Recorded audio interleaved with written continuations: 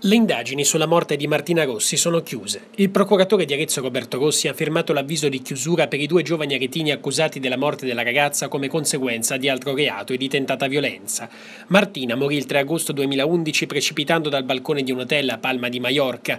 Inizialmente la polizia spagnola aveva chiuso il caso considerandolo un suicidio. Nel 2012 però le indagini si riaprirono in Italia riuscendo a identificare tutte le persone che si trovavano quella sera in albergo. Due ventenni aretini vennero così chiamati in qualità di testimoni e mentre si trovavano in sala d'attesa alcune microspie registrarono il loro dialogo. I due giovani si sarebbero scambiate confidenze giudicate compromettenti su un presunto tentativo di violenza sessuale che sarebbe andato in scena quella tragica notte, uno scenario che fino a quel momento era trapelato. Da testimoni diventarono indagati e le carte passarono dalla procura genovese a quella retina.